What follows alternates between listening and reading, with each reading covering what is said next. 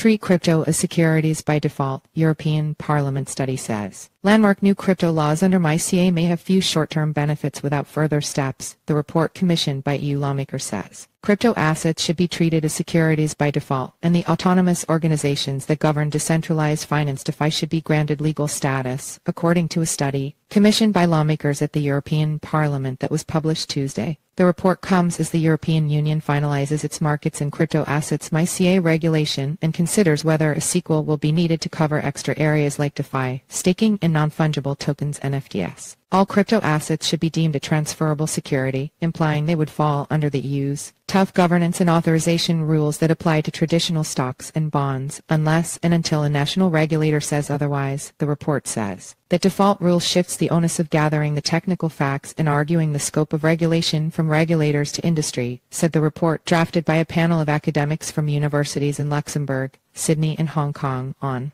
Requests from the European Parliament's Economic and Monetary Affairs Committee. Without changes, we are skeptical that MiCA will have positive short-term effects given the difficulties of enforcing its rules in an opaque cross-border context in which 10,000 crypto protocols vie for the lightest possible regulation, added the document, though its findings are in a formal position of the European Parliament. The crypto industry has been plagued by a lack of clarity on whether rules designed for traditional financial securities apply to digital assets. In the U.S., the Securities and Exchange Commission's chief Gary Gensler has declined to say whether major cryptocurrencies such as Ether ETH constitute securities under his jurisdiction, but a series of legal actions against companies such as Ripple have led to accusations of regulation by enforcement. With MiCA signed into law on Wednesday, EU agencies responsible for banking and securities markets must now set out the detailed rulemaking to put it into effect. Even before then, the European Systemic Risk Board, an EU panel responsible for monitoring financial stability risks, has called for further laws to fill in what MiCA leaves out.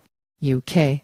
Experts have also been studying the legal status of decentralized autonomous organizations DAOs, a potential precursor to regulation of a sector which the report says is a wild west of fraudsters and thieves.